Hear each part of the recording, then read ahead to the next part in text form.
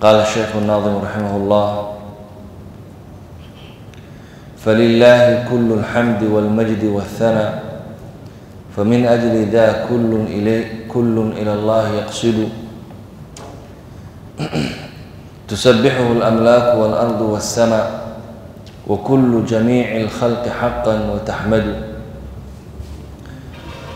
شيخ وحول هذي فلله كل الحمد ilaahay waxaa u sugnaaday kullu lxamdi xamdi iyo mahad oo dhan anwaacdeeda oo dhan qeybta ugu sarraysa ilaahay ayay u sugnaatay.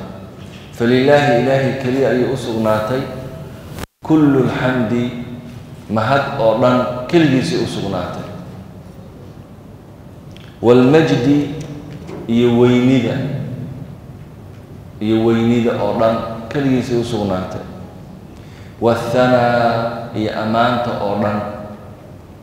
Athanaa waa ammaanta lagu soo laba celiyo alxamdu waa mahdinta la mahdiyo. Almajduna waa weynida wey wanaagiisa iyo sifooyinkiisa oo dhana waa weyn. Athanaana waa ammaantii oo la soo celceliyo. Marka ilaahay wuxuu leeyahay mahad oo dhan iyo weyni oo dhan iyo athanaa waa ammaantii lagu soo celcelinayo oo dhan. Famin ajli daa kullun ila allahi kullun khalqi oo dhan ila allahi yaqsudu yaqsudu waa mid u qasdaaya ila allahi ilaahay u qasdaaya min ajli daa arrinkaas dartiisa min ajli daa arrinkan dartiisa. Arrinka uu sheegaya waa midkee waa maadaama ilaahay uu leeyahay weynida oo dhan xamdiga iyo mahadda oo dhan lagu mahdinayo sifooyinkiisa wan wanaagsan oo dhammaystiran maadaama ilaahay sidaasi uu yahay khalqiga oo dhan asagay u qasdaysaa asagay u qasdaayaan khalqiga oo dhan haddaa cid kaleeto oo loo qasda ma jirto maadaama uu yahay midka ku keliyoobay sifooyinka wan wanaagsan oo dhan.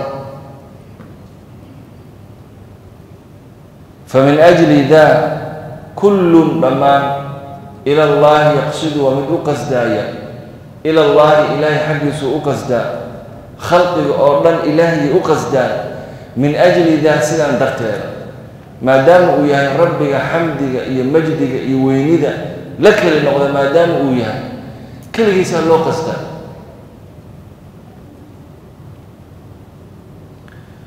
Tusabbixuhu waxaa ilaahay nasaha oo xumaanta oo dhan ka hufa oo ka nasaha alamlaaku malaa'igta waalardu iyo dhulka waasama iyo samada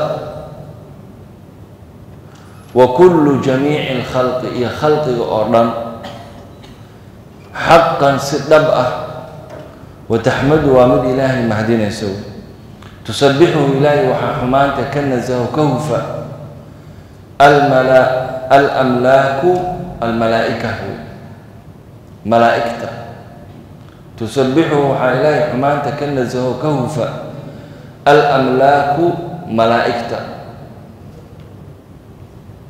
waalardu iyo dhulka waasama iyo samada wa kullu jamiici alkhalqi iyo khalqigoo dhan xaqan si dhaba tusabbixu lahu asamaawaatu waalardu waman fiihin wain min shayin ilaa yusabbixu bixamdi wain min shayin ilaa yusabbixu bixamdi wa kullu jamiici alkhalqi khalqigoo iyo khalqiga oo dhan ilaahay u tasbiixsadaa wataxmadu waa ilaahay mahdisaa malaa'igta samada dhulka khalqigoo dhanna wataxmadu ilaahay u xamdisaa xamdigu waa mahdin lagu mahdinaayo wanaaggiisa. Tusabbixu tasbiixduna waa nasahid laga nasahayo nuqsaanta iyo xumaanta tanazaha ilaahay wuxuu ka nasahnaaday can niddin wa kuf'in mumaahilin wa can wasfi di nuqsaani jala almuwaxadu tanazaha wuxuu ilaahay uu ka hufan yahay. Hufnaanta waxaa la yidhaahdaa macnihii waa ka nadi waa ka daahir noqosho ka nadiif noqosho. Waayo waxaa la yidhahdaa hufnaan. Tanazaha waxaa ilaahay uu ka nasahan yahay. Wuxuu ilaahay ka hufan yahay. Wuxuu ilaahay uu ka nabadgalay wuxuu ilaahay daahir ka yahay. Can niddin wa kuf-in mumaahilin nid iyo kuf iyo mumaahil waa kelimaad isku macno dhow. Kelimaadkaasoo isku macno dhow yihiin mumaahil waxaa la yidhahdaa shayga shayga isagoo kale nidku waa sidoo kale waa shayga dhiggiisa la midka. Kufi waa shayga shayga u dhigma. Oo isku macno dhow yihiin. Kufi waxaa la shayga waxaa weye u dhigma dhiggiisa. Niddina sidaas oo kaleeto nidku waa shayga waa axadka adiga kuu dhigma. Adigoo kale ah cilmigaada oo kale leh maalan awooddaada oo kale leh maalkaaga oo kale leh niddi kaasa la yidhahda qofka maalqabeynka ah waxaa nid u ah maalqabeyn kale nidkiisa wey niddii uu yahay waxaa leedahay hibil hebel hebel dhiggiisa wey hebel soo milyoneer maaha kan waa milyoneer kan midka faqiirka ahna waxaa nid waa mid faqiira mid cilmi badan sidaasoo kaleeto mid cilmi badan. Midka jaahilka ah mid jaahila nidku marka waxaa la yihahdaa waxyaabaha isku dhigma. Marka ilaahay wuxuu ka nasahan yahay wax u dhigma uu ilaahay ka nasahan yahay. Oo ma jiro wax ilaahay cilmigiisoo kala leh. Ma jiro. Cilmiga ilaahay wax la siman ma jiraan awooddiisa wax ilaahay la siman male oo la leeyahay wuxuu ilaahay u awoodo uu kana awoodaa ma jiro araggiisa wax ilaahay la mida male ilaahay araggiisa wax la siman ma jiraan oo sida ilaahay araggiisa oo kale leh. Maqalkiisa annagu maqal waa leenahay. Arag waa leenahay. Cilmi waa leenahay. Awood waa leenahay. Nolol waa leenahay. Annagu bini aadam haddii nahay jinniga sidaas oo kale waa leeyihi malaa'igta waa leedahay noolo kaletana waa jira laakiin ilaahaysan u dhigmin uma dhigmaan annagu nolol waa leenahay waa noolnahay ilaahayna nololuu leeyahay waa nool yahay laakiin nolosha iyo nolosheenna maxaa iskaga shaqo dhigay ilaahay araguu leeyahay annaguna aragaan leenahay laakiin maxaa iskaga shaqo dhigay isku baab ma aha xataa ma la isbarbardhigi karo cilmigeena iyo cilmiga ilaahay ka waran annagu cilmi waa leenahay sax ilaahayna cilmi waa leeyahay laakiin wax isku shaqo ah ma aha. Awoodda sidaas oo kale wax walbo ilaahay leeyahay waa sax marka ma jiraan wax ilaahay u dhigma. Laa malaa'ig walaa insi walaa jinni walaa kulligood haddii la isku daro. Malaa'igta cilmigeeda iyo awooddeeda oo dhan haddii hal meel iskugu keeno oo cilmiga bini aadamka oo dhan hal meel iskugu keeno oo midka jinniga lagu daro oo midka wax kale lagu daro ilaahay cilmigiisa marka la barbar dhigo dhibic baddaasi lagu daray kama maaragtay mala eg baddaasaa w aragteen dhibicdeed ma dhalo cilmigiisa awooddiisana sidoo kale marka ilaahay wax u dhigmaayi ma jiraan. Marka ilaahay maxaan ka nasahaynaa manhajka ahlulxaq waa maxay? In ilaahay aan ka nasahno oo aan ictiqaadno in uusan jirin wax ilaahay la siman dhiggiisa ah dhig male.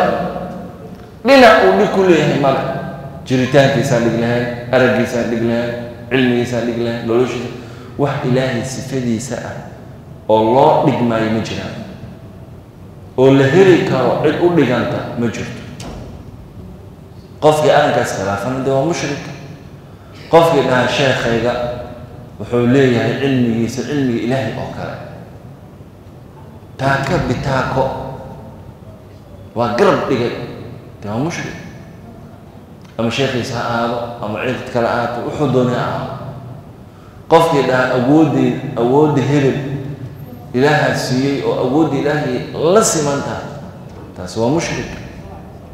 Towxiidku waa sidee inaad ictiqaadid oo aad yaqiinsatid oo aad hubsatid wax dhig ah inuusan jirin. Wax u dhigmaa inuusan jirin marka ilaahay maxaan ka nasahaynaa waxyaabaha mili nadiir shabiih nid kuf kulli waa isku macno. Waa kelima isku macno. Ah alnadiir almaiil almumaail alshabiih alnid alkuf waa isku macno. Oo waxaa weye wax isla sima. Maxaan ictiqaadaynaa inuusan jirin isla sinaanshaha waa wax la diidayo ogow lama inkiraayo makhluuqu inuu cilmi leeyahay inuu nolol leeyahay inuu arag leeyahay. Lama inkiraayo see loo inkiraayo waxa la diidayo waa maxay? Waa isku dhignaanshaha wey inuu isku dhigmo taasaa la diidayo.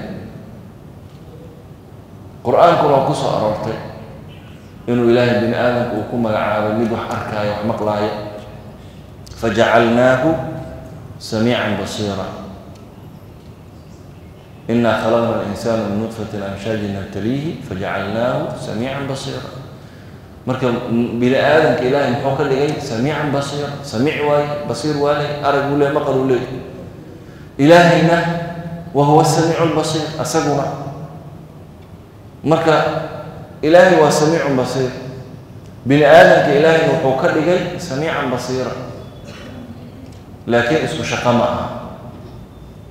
Tan la rabo in aan ilaahay ka nasahno waa maxay inaysa isku shaqo ahayn laakiin waa leeyahay ha lama diidaayo inuu bini aadamku yahay samiic qur'aankaaba sheegaba annagaaba u jeednaba inuu maqlaayo wax loo jeedo. Inuu wax arkaayo waa wax la hubo. Ilaahayna sidaas oo kale arag iyo maqal waa leeyahay. Laakiin maxaa la diidayaa isku dhignaansha midda qur'aanku diidayna waa sidaas falaa tajcaluu lilaahi andaada falaa tadribuu lilaahi alamhaal laysa kamilihi shay. Waxa qur'aanku uu diido diiday waxaa weeye isku maaragtay isla sinaansho. Ina adigu arag leedahay laguma diidaayo oo daciifa oo maqal yar iyo cilmi xuno intaas la eg lama diidaayo. Laakiin waxa la diiday waa maxay wax ilaahay u dhigma wa can wasfi di nuqsaan. Waxaa kaleeto ilaahay laga nasahayaa can wasfi di nuqsaan.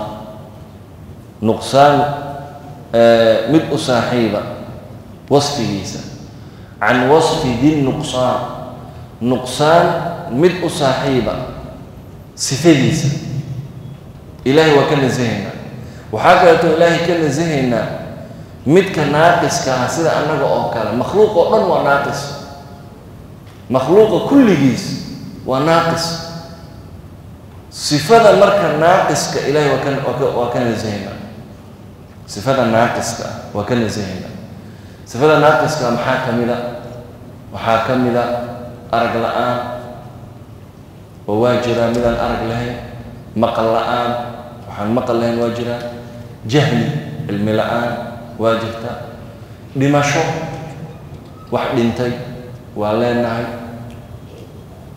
Baahi sidaasoo kaleeto waa leenahay. Annagu baahiya annagu waxaan nahay baahanayaal oo baahanna wax walba u baahanna biyaha u baahanna haddii aan weyno waa baktinayna cunnadaa u baahanna haddaan weyno waa baktinayna dharkaan u baahanna haddaadan dhar aanan gashanayn qoraxda iyo dabeesha iyo dhaxantaana dilaysa foolxumadeenana sidaas oo kale.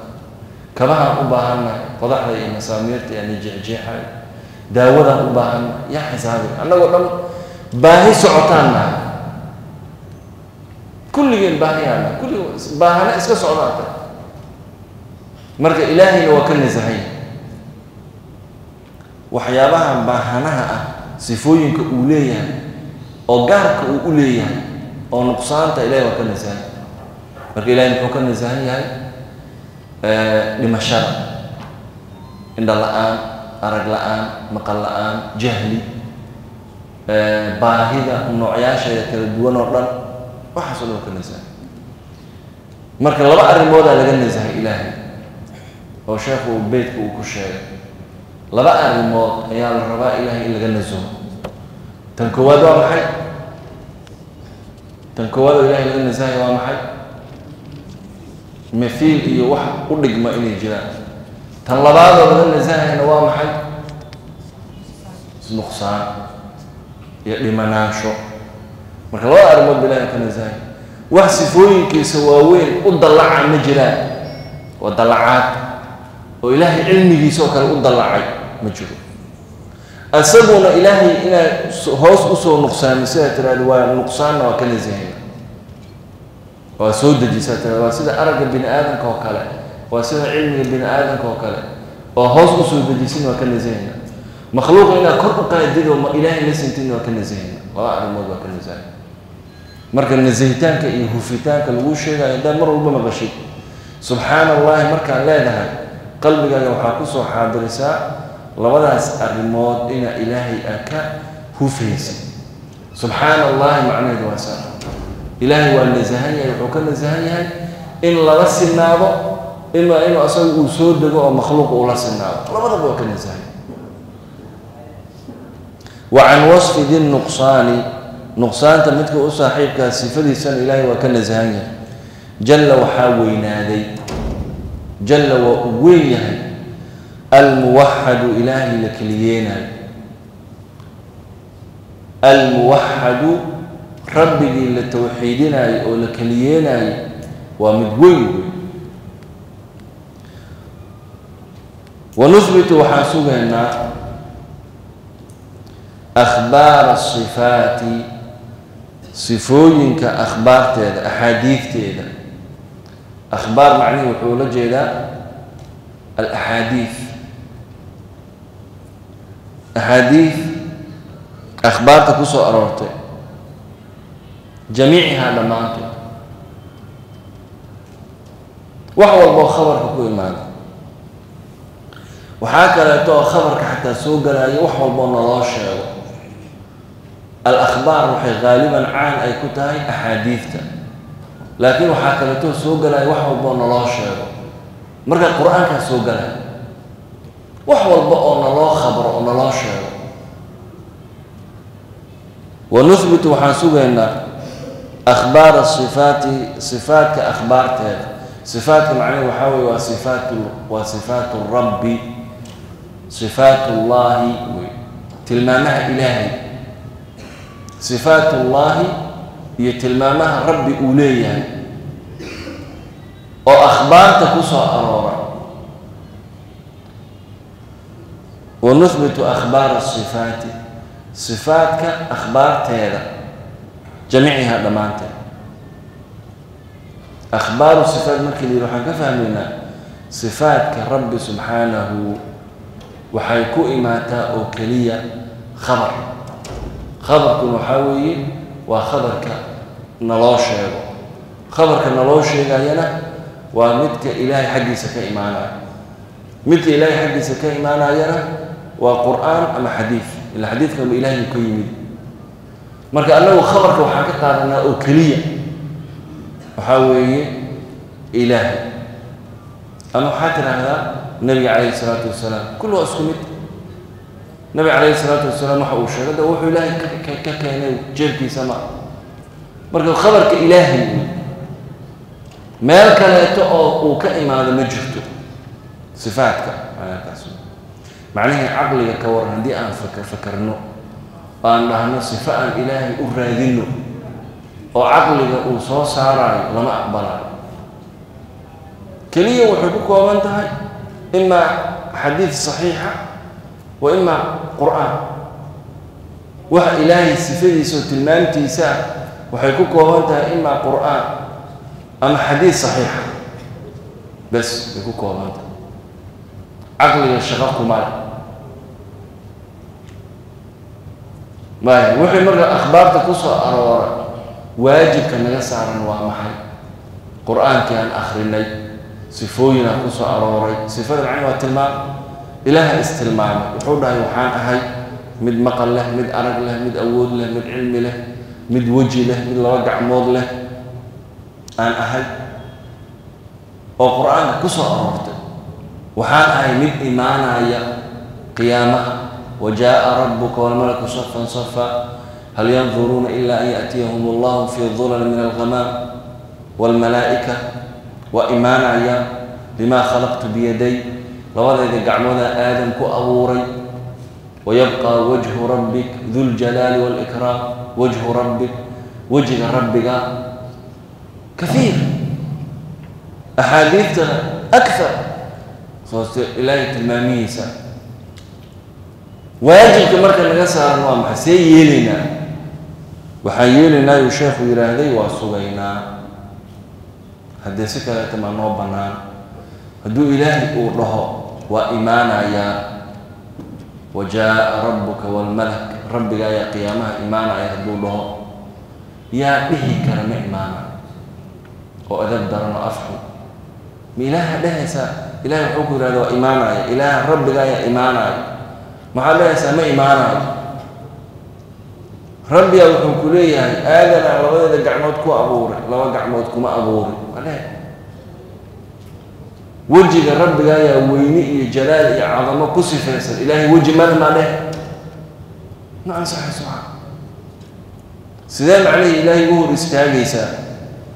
Haddii aad dhahdid wixii ilaahay uu dhahay aad ka hor imaatay mucaarad adigoo ah haddaad ilaahay hor istaagtay ka war adigoo mucaarada fallaaga oo dhahaya ma aha ma aha ma aha wuxuu ilaahay waa ahay waa ahay waa ah yaa ilaahay leey adna waxaa leedahay ma aha ma aha ma aha. Hadhow see janno ku gelaysaa khasar miyaa jannada aakhire maxaa is leedahay? Khasar maa ku geli? Boob iyo dhac miya suuroobayso indha caddeyn miya indha sarcaan khatar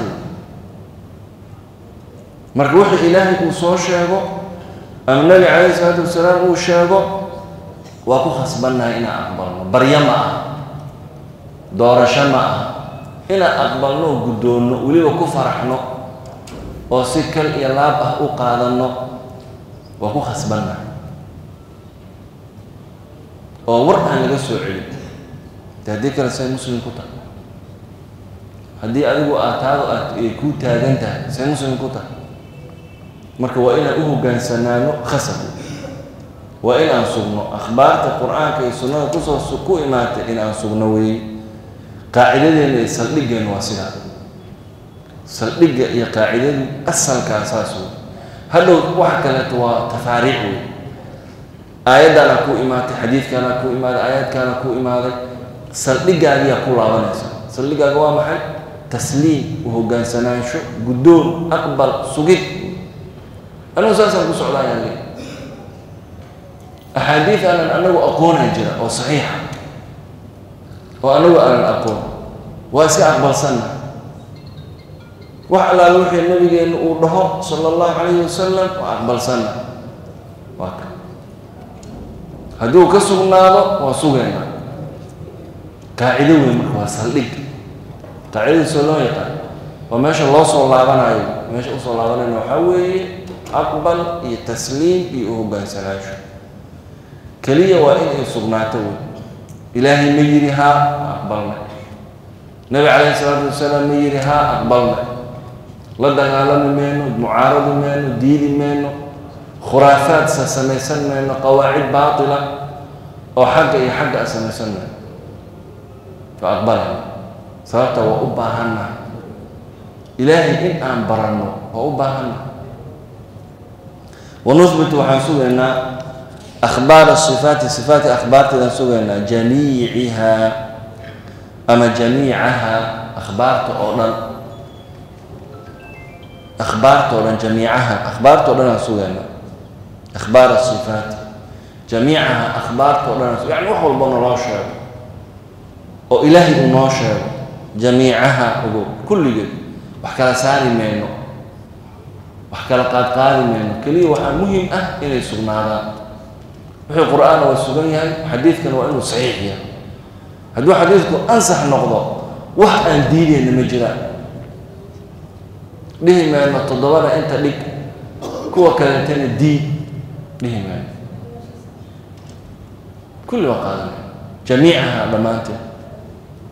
Wanabra'u waxaan beri ka nahay min ta'wiili man qof tawiilkiisa kaana ahaada yajxadu mid diidaay min tawiil tawiilka waxaa la yidhaahdaa waa qalloocin wey taxriif. Tawiilku waa taxriif waa ikhraaju nasi can aahirihi ikhraaju nasi can daahirihi waa naska oo daahirkiisa laga saaro ayaa tawiil yidhaahdaa taxriif wey waa qalloocin. Waa tabta yahuudda ilaahay ku sheegay min aladiina haaduu yuxarifuuna alkalima can mawaadicihi yuxarifuuna alkalima can mawaadicihi waa shaqo yahuudeed in hadalka ilaahay intii la qaato si kaleeto loo qalloociyo oo meel kaleeto lala aado taas waa midda la diidan yahay shaqo yahuudeed haddaa qaadatid wixii ku dhaca kugu dhaca marka ha qalloocini ta'wiilku saas wey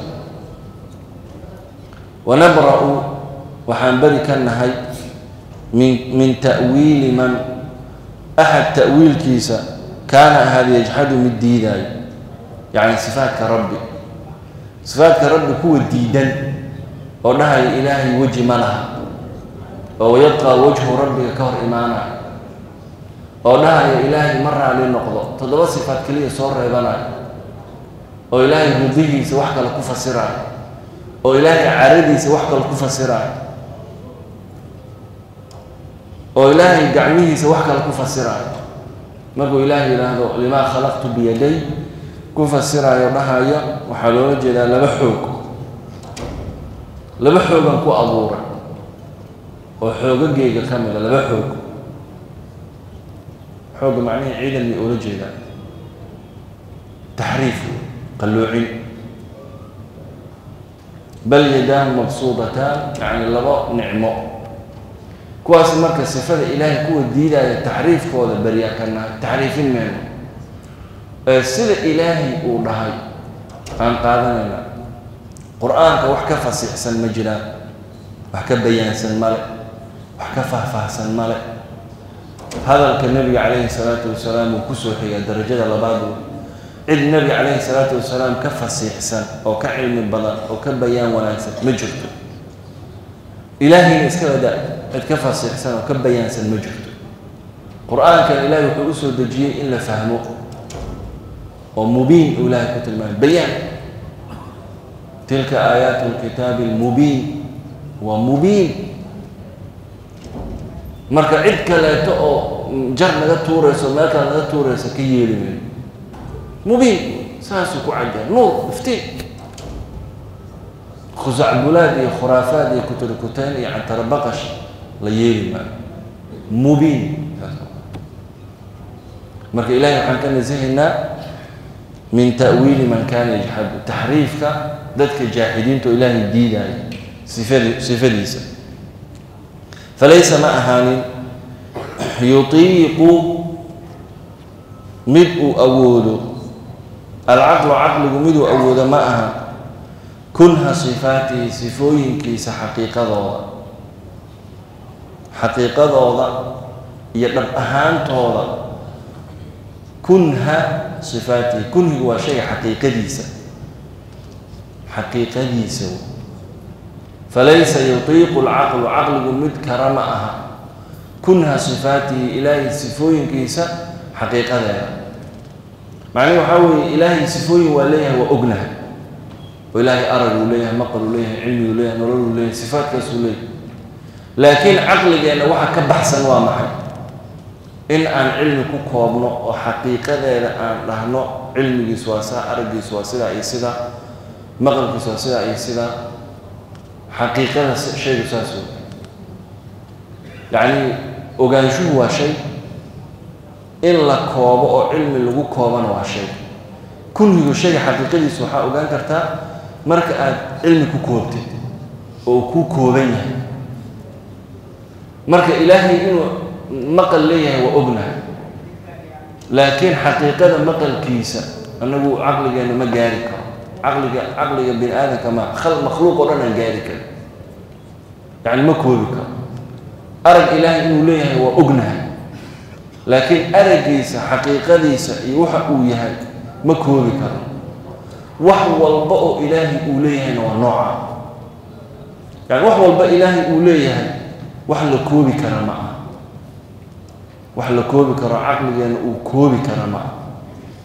Shayga xaqiiqadiisa marka la ogaanayana waa wax la koobi karo. Wey wax xaqiiqadiisa la hayo. Marka inaan ilaahay sifooyinkiisa xaqiiqadeeda aan helno waa wax makhluuqa awooddiisa ka baxsan. Bini aadamka keliya maaha ogow. Makhluuq oo dhan waa wax awooddiisa makhluuqa ka sarreeya wey asaga keliya unbaa garanaya wuxuu yihi marka haddii la yidhahdo ilaahay waa imaanaya maalan oo qiyaamuhu ilaahay imaanaya wa jaa rabbuk imaanshihiisa iyo sida uu yahay iyo kayfiyadda uu leeyahay iyo wax anagu garaadkeenna ka weyn keliya waxaan leenahay ilahay waa imaanaya kayfiyadu u imaanayo siduu yahay garanaya. Keliya waxaan leenahay ilaahay laba gacmoodoo aadan ku abuura. Siday gacmihiisu ay yihiin waxaan garanayna ma. Ilaahay wejigiisa waa mid weyn oo sharaf leh. Sida uu yahay garanaya. Wahaakada marka labada marka sifaadka ilaahay aad sugaysid maxaa rabaa inaad iska ilaalisid in aad u malaysid in la koobi karo oo kayfiyadeeda la garan karo oo xaqiiqadeeda la gaari karo. Waa laba baabaan shaqo isku lahay sifaadka ilaahay sug oo ha diidin isla markaasna ha u malaynin in aad gaari kartid oo aad xaqiiqadeeda suuraysan kartid. Ha diidin. Waxa makhluuqa aad ku taqaanid oo kalena ha ka dhigin ama ha u malaynin in aad gaari kartid marka labada arrimoodba in la iska ilaalisid waa loo baahan yahy diidmada waa loo baahan yahy inaad iska ilaalisid oo ay inkirtid sifaadka ilaahi ma inkirayno bal waa sugaynaa haddana maxaa la rabaa markaad sugaysid inaad iska ilaalisid in aad u malaysid inaad xaqiiqadeeda gaari kartid oo aad koobi kartid. Lama gaari karo lamana koobi karo. Marka sifaadka ilaahi waa sugaynaa xaqiiqadeysana ma gaari مثلا nabig alay slat slam wuxuu yidhaahday lallahu فرحا faraxan عبده cabdihi xiina yatuubu ilayh alxadiid ilaahay waxaa weye waa mid ku farxad badan towbadda addoonkiisu ku farxad baday halkaasi sifatu maxaa ku sugan sifatu maada sifatu lfarax farxad ilaahay adoon addoomihiisa toobadkeena waa mid ku farxa saasuu nabi cala slat slaam yidhi. Hadduuna marka nabi cala slat slaam uu yidhaahdo annaga waa ku khasbannahay inaan dhahno ilaahay waxaa u sugan sifo la dhaho alfarax. Kadib haddii mar sifadaas marka waa suganayo diidi mayno dee maba diidi karnaba nabigaa yidhi calayhi salaatu wasalaam nabiga calayhi salaatu wasalaam hadduu ku hor taagan yahay uu ku dhaho ilaahay faraxuu leeyahay bal farxaddiisa wuxuu ka daran yahay tusaale ku siiye ka daran qof maaragtay quustay farxaddiisa oo kadibna rajadii u soo laabatay ilaahay waa ka farxad badan yahay uu nabi cala slat slaam leey maya maa dhihaysaa marka waa inaan sifadaasi sifatu farax ilaahay u ictiqaano haddana maxaan ka nasahaynaa oo aan ogaanaynaa inaan xaqiiqadeeda la gaari karin. Laguma dhihi karo marka oo farxiis waa sidee? Sidee u farxaa sida bini aadamka oo kale sida malaa'igta oo kale ma sida libaaxiyada oo kale ma sidee u farxa? Laguma dhihi karo sababta waxaan leedahay khalqiga oo dhan ma awoodaan in ay ka jawaabaan su'aasha. Oo ah xaqiiqadeedu maxay tahay kayfiyadeedu maxay tahay lagama jawaabi karo. Sababta laga jawaabi karo waa maxay? Lama awoodi karo. Wax walboo ilaahay uu leeyahayna waa saa. Wax walboo ilaahay uu leeyahay lama koobi karo. Kayfiyadeedana lama lama gaari karo laakiin waa sugaynaa waa wax jiro marka sidaas waxaa weeye waa sida qur'aanka iyo sunnada ay tusinayaan.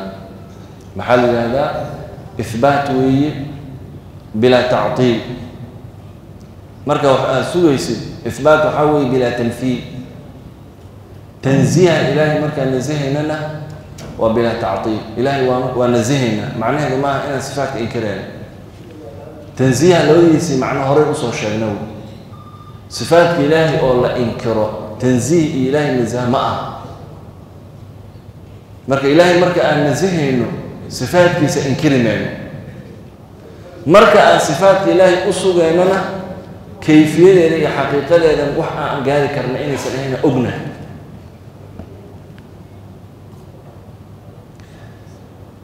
falaysa maaha yutiiqu miduu awooda alcaqlu caqligu kunha sifaatihi sifaatka ilaahay xaqiiqadee xaqiiqadeeda fasallim waxaa sallimtaa oo hoggaanka u dhiibtaa u hoggaansanaantaa limaa qaala rasuulu rasuulka wuxuu uu yihi muxamedun muxameda sallim tasliimka waxaa weeye waa hoggaan dhiibid wey sallim waxaa weye isdhiib limaa qaala rasuul wixii rasuulku uu yihi muxamedun muxameda sala allahu calayhi wasalam wixii rasuulku uu dhaho isku dhiib. Isku dhiib macnahi maxaa loola jeedaa dood la'aan muran la'aan mucaarad la'aan. Sidiisa u qaado. Sababtaa maxaan ku kalsoonnahay nabiga calayhi salaatu wasalaam runtiisaan ku kalsoonnahay oo inuu been sheegayo waxaa wey waa kama shaki shaki noogama jiro. Inuu run sheegayo waxaan ku kalsoonnahay cilmigiisa. Si dhihi maana anu jaahiliya waxaan ku kalsoonnahay dadaalkiisa dhammaystiran isdhihi mayno anu idinlu gooya. Waxaan ku kalsoonnahay bayaankiisa iyo fasaaxadiisa iyo codkarnimadiisa. Isdhihi mayno anuu hadalku u gooyo oo sheekh hebel uu ka fiican yahay. Isdhihi mayno marka maxaan ku kalsoonnahay runtiisaan ku kalsoonnahay cilmigiisana ku kalsoonnahay cid ka sarreeya mala ka sarreysa mala cid ka run badan ma laha cid ka cilmi sarreysa ma laha. Cid ka dadaal badan oo ka khayr doon badan ma laha. Cid ka fasiixsan oo wax ka bayaanin yaqaano ma jiraan meeqa arrimood wey. Waa meeqa arrimood. Afar arrimood wey. Afartaas arrimood haddii mid ay maqnaan lahayd maxaa la isdhihi lahaa? Ama xoogaa. Haddii aadan runtiisa rumaysnayn aada shaki kaaga jiro haddii waa shakinaysaa haddii cilmigiisu shaki uu kaaga jirana waa isleedahay anuusan wax aqoon adan waa shakinaysaa haddii aad dadaalkiisa aad shaki kaaga jiraan isleedahay anuu idinlu goynaayo amuusan ummadda u naxariisanayn ayadana waxaa weeye gadaala isku isku laadaysa fasaaxadiisa haddaad ka shakisan tahayna waa ka shaki waa ka istaagaysa qofkii macnihii aadan islahayn hadalkuusan aqoon waxaa is leedahay wuu kuu dadaalaya laakiin waa khaldama ama inuu kulu gooyaaba shaki kaaga jira. Adan waa ka istaagaysaa ama cilmigiisaa shaki kaaga jira waa ka shakinaysaa ama runtiisa waa ka shakisan tahay. Marka nebiga calayhi salaatu wasalaam cid ka run badan ma lahan cid ka cilmi badan ma lahan cid ka dadaal badan oo dadaal ka badinaysa ma lahan cid ka fasiixsan oo wax ka bayaanin badanna ma lahan. Marka waa inaan isku dhiibno wixii uu sheego waa sallimaynaa tasliim hoggaanka u dhiibanayna. Meesha uu noo wado meel jannada iyo khayr inay tahay shay kama qabno waddadiisa cagta saaraya fasallim waxaa u sallimtaa limaa qaala rasuulu wuxuu rasuulku yidhaahday muxamedun muxameda sala allahu calayhi wasalam wallahu aclam